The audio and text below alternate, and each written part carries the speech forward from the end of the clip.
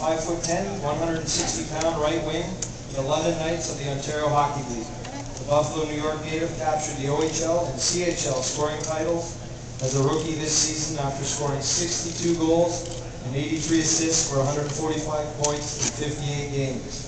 He also helped the U.S. to a bronze medal at the 2007 World Junior Championships. Prior to joining the Knights, Patrick played for the U.S. National Development Team, where he broke Phil Kessel's scoring record with 102 points. And this guy's see the ice. He can see a passer or a pass receiver over here or over there, and they better be ready for his passes. If not, he'll shoot the puck.